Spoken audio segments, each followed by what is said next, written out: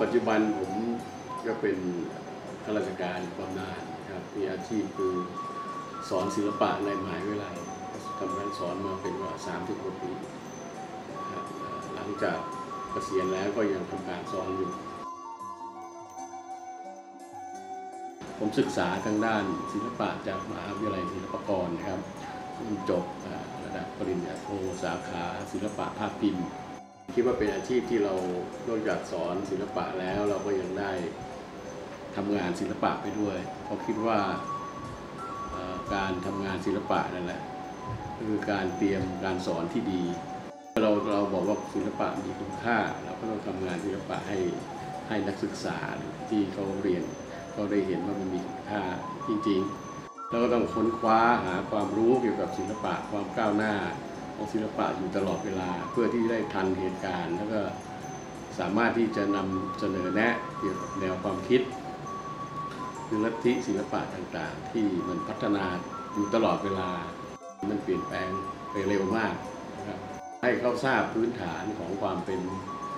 ศิลปะของไทยด้วยนะที่เลือกเป็นอาจารย์สอนหนังสือ เพราะว่าสภาพแวดล้อมของสังคมไทยเนี่ย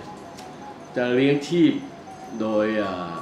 การทำงานศิลปะอย่างเดียวรู้สึกมันจะเป็นปัญหามาก ผมก็เลยวางแนวทางว่าเราคงจะต้องทำอาชีพสอนศิลปะ และในขณะเดียวกันก็ทำงานศิลปะไปด้วย เพื่อเป็นการค้นคว้าหาความรู้ประกอบกับการที่จะใช้สอนหนังสือ สิ่งที่จะชักจูงให้นักศึกษาสนใจมาศึกษาเขาอาจจะต้องดูที่ตัวคณาจารย์ว่ามีความรู้ความสามารถหรือมีความ ต่อเนื่องในการทำงานมากน้อยขนาดไหนก็เริ่มตั้งแต่เด็กๆคือชอบเขียนรูปนะครับ ชอบวาดรูปแล้วก็พอดีมีใกล้ๆโรงเรียนก็จะมีตำรวจคนนึงเขาเขียนรูปพวกไหลไทยพวกหนุมานเนี่ยนะผมก็ชอบแล้วก็อยากจะเขียนให้เป็นอย่างแกบ้าง แล้วก็โชคดีอย่างที่ไปพักอยู่ที่วัดพักอยู่วัดกับกับพระทีนี้พระท่านก็สนใจศิลปะ ก็พาไปดูงานแสดงศิลปกรรมแห่งชาติ แล้วก็ซื้อหนังสือเกี่ยวกับงานออกแบบอะไรให้ในรุ่นแรกๆนะครับที่เริ่มทำเนี่ยก็จะเป็นงานภาพพิมพ์โดยเทคนิค แนวเรื่องในช่วงนั้นก็คือใช้แนวเรื่องของภาพผู้หญิงเปลยกับสิ่งแวดล้อมนะครับคือใช้รูปผู้หญิงเปลือยเนี่ยแทนในสิ่งที่มีชีวิตนะครับแล้วสภาพแวดล้อมนั่นก็เหมือนสิ่งที่ไม่มีชีวิตมันมี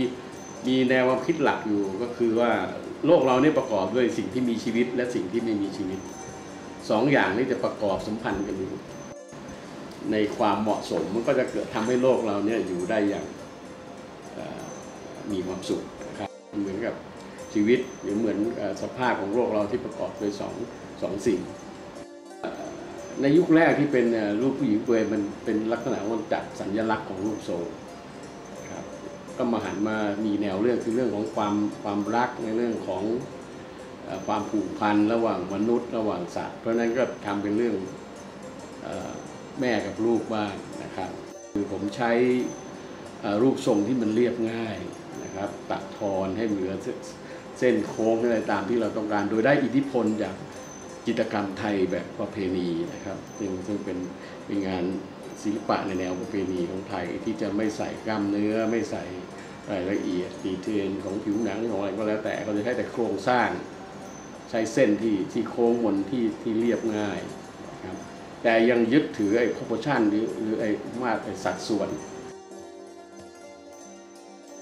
แม้แต่รัฐบาลเนี่ยงบประมาณที่ลงมาสู่ทางด้านศิลปะมันก็มีน้อยนะครับ ถ้าเทียบกับทางด้านกีฬานะครับ เพราะกีฬาเนั้นเป็นทำให้คนสนใจเรื่องเรื่องร่างกาย แต่ศิลปะมันทำให้คนสนใจในเรื่องของจิตใจ ผมผมไม่แน่ใจว่าเขาไม่ตระหนักถึงคุณค่าหรือเขาก็ตระหนักไปอย่างนั้นเองชาวต่างชาติที่มาท่องเที่ยวก็มาดูธรรมชาติ มาดูวัฒนธรรม มาดูศิลปะ ก็ไม่มาดูกีฬามาดูโรงงานวรรณกรรมหรือความก้าวหน้าทั้งอื่นหรอกแต่ศิลปะเรามีอัตลักษณ์ มีความพิเศษมีความเป็นชนชาติไทย มีลักษณะเฉพาะ นะครับวิถีชีวิตก็มีลักษณะเฉพาะ สิ่งนี้ซึ่งควรจะได้รับการเกื้อกูล ทั้งในด้านงบประมาณ และในด้านนโยบายจากรัฐบาล ในอนาคต ผมคิดว่าคงจะต้องทำงานศิลปะไปเรื่อยนะครับจนกว่าจะไม่มีแรงทำเพราะว่ามาจนถึงบัดนี้ผมประจักษ์แล้วว่างานศิลปะนั้นทำให้ชีวิตเรา มีความสุข แล้วก็มีจุดมุ่งหมาย ที่เหลือเวลาผมเคยคุยเล่นๆว่าคงไม่ถึงหมื่นวันแล้วมั้งที่เราจะมีเวลาทำงานศิลปะอยู่ไอ้ที่ประมาณหนึ่งหมื่นวันเนี่ยที่จะมีเรี่ยวแรงมีสติปัญญาทำถ้าทำงานดีๆได้สักห้าสิบชิ้นก็นับว่าเป็นบุญแล้ว เพื่อที่จะทิ้งไว้ ให้เป็นให้กับคนรุ่นหลังนะครับ มันก็จะเกิดเป็นประโยชน์ กับบ้านเมืองเรา เราจะไปทิ้งรถยนต์ไว้ทิ้งทิ้งบ้านทิ้งอะไรไว้ให้เป็นมันไม่มีความแน่นอนแล้วก็ไม่มีคุณค่าอะไร แต่ถ้าศิลปะที่มีคุณค่าเพื่อนผมเนี่ยเป็นทหารเป็นตำรวจมาเยอะแยะนะครับพอเกษียณปั๊บเฮ้ยไม่รู้จะทำอะไรแล้วหลังเกษียณเนี่ยชีวิตมันไม่มีที่พึ่งที่นั่นเลย สอนเขียนรูปให้หน่อยสิผมถึงมาประจักษ์ว่าอ๋อคนเรียนศิลปะได้เปรียบนะเกษียณไปแล้วแก่ไปแล้ว อายุเท่าไหร่ทำงานศิลปะได้ชีวิตมันก็มีความสุขมาทำงานศิลปะกันนะครับมันทำให้มีความสุขทั้งตัวเรา ทั้งโลกทั้งสภาพแวดล้อมต่างๆ ถ้าเข้าใจศิลปะแล้วทุกอย่างเป็นศิลปะหมดเดี๋ยวนี้ผมไปทำสวน ผมจะวางต้นไม้ไว้ตรงนี้ ตรงนี้ปลูกอะไรมันก็คืองานศิลปะทั้งหมดเลยชีวิตเราอยู่กับมันนะของเมืองไทยในเรื่องของการรู้ค่าของงานศิลปะ เพราะโดยทั่วไปคนไทยแล้วจะไม่ค่อยเห็นคุณค่ากับศิลปะก็สุดท้ายนี้ผมคิดว่า ที่ได้พูดมานี้อาจจะมีข้อคิดอะไรบ้างนิดหน่อย เพื่อที่จะให้อนุชนรุ่นหลังได้ได้ได้ตระหนักถึงความสำคัญของศิลปะนิดหน่อยให้มันชีวิตมันจะได้มีจุดมีเป้าหมายที่ดีขอบคุณมาก